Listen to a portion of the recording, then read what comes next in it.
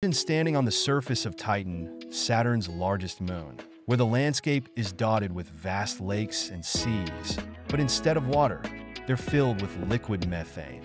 These methane seas are unlike anything on Earth. The temperature here is a chilling minus 290 degrees Fahrenheit, turning methane into a dense, slushy liquid. What's fascinating is how these lakes behave.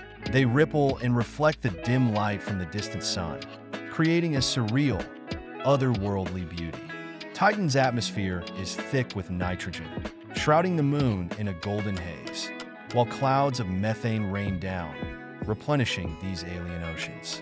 Scientists believe that beneath Titan's icy crust, there could be a subsurface ocean of water, making it a prime candidate in the search for extraterrestrial life. So, while Earth's oceans are teeming with life, Titan's methane seas invite us to rethink what an